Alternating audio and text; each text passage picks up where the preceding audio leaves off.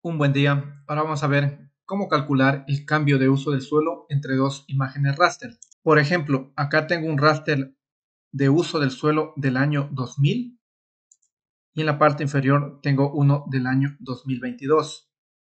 Si abrimos sus tablas de atributos, Attribute Table, en Class Name tengo acá los tipos de uso del suelo para 2022 y 2021. Ahora vamos a computar esto para ver si, por ejemplo, acá el bosque se mantuvo como bosque o pasó, sea pastizal, infraestructura o suelo. Para esto nos vamos en Geoprocessing, en Toolboxes, en Image Analysis Tools, Chain Detection y seleccionamos la herramienta Compute Chain Raster. From Raster sería el dato de entrada, en este caso sería el año inferior, 2000, y tu raster sería el año 2022. El raster de salida lo dejamos por defecto y en Compute Chain Method vamos a cambiar a Categorical Difference.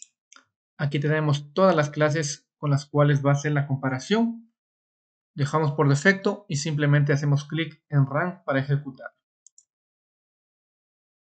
Listo, ya me genera un nuevo raster. Voy a desactivar las capas anteriores y podemos ver acá, por ejemplo, en blanco es donde no ha sufrido ningún cambio. Si abro la tabla de atributos, clic derecho, Attribute Table, aquí podemos ver la descripción de cada una de estas categorías. Por ejemplo, la 1 dice de bosque a pastizal. Antes era bosque, ahora es pastizal.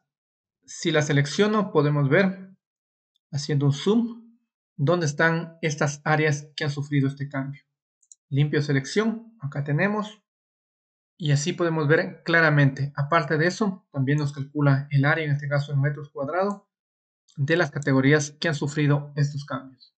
Si bien con la herramienta Raster Calculator podemos personalizar más, pero con esta herramienta Compute Chain Raster nos permite hacer de una forma sencilla y con pocos clics. Si te gustó este video, no olvides darle una mano arriba, suscribirte al canal y nos vemos en una próxima oportunidad.